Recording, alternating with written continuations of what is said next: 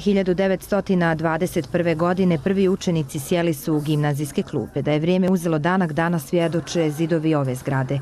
Rekonstrukcija koja je bila neophodna ide u prilog učenicima koji će u septembru dočekati topli zidovi. Zim je hladnije na e, višim spratovima, pošto je izolacija i solarija slaba, ali sada kad se to sve sredi, bit će nam mnogo lakše da učimo. Prvenstveno moram da naznačim da je ne samo za mene kao učenika, već za mnoge druge profesore i sve one koji dosta vremena ovde provode i svog truda ulažu u ovu školu, izuzetno značajan ovakav jedan projekat koji će poboljšati naš boravak u jednoj ovakvoj zaista značajnoj ustanovi. Prva velika rekonstrukcija gimnazije omogućit će tople učionice u zimskom periodu, zahvaljujući rekonstrukciji po principu energetske efikasnosti, čime će biti smanjena potrošnja energije za više od 50%. Ono što je e, obuhvaćeno ovim projektom jeste prije svega zamjena fasadnih zidova, gdje će se stavljati obloga recimo 10 cm koja će biti jako dobra izolacija.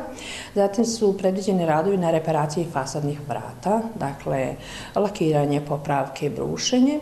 Predviđene su izmjene mm, fasadnih prozora, dakle to će biti, pošto je objekat zaštićen zakonom, autentični prozori kao što su bili i ranije. Pored ovih radova u planu je i novi krov i novi sistem rasvite, a završetak izvođenja radova planiran je do kraja avgusta ove godine. Vrijednost radova koji se izvode u okviru projekta Ministarstva za prostorno uređenje, građevinarstvo i ekologiju Republike Srpske, energetska efikasnost u Republici Srpskoj je 450.000 maraka.